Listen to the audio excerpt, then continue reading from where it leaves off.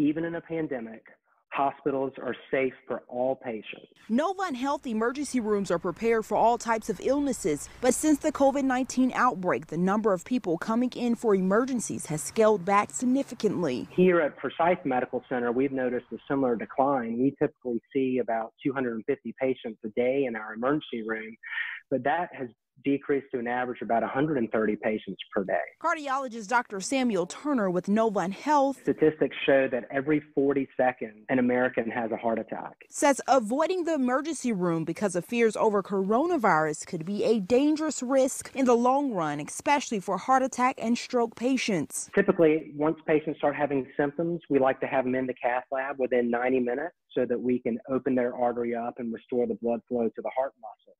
And just as short as 90 minutes can be the difference between surviving a heart attack or not. And time is a big factor in survival. Every minute that passes, portions of the heart muscle die.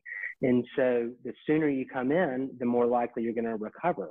But if you wait, you're going to have symptoms long term of heart failure.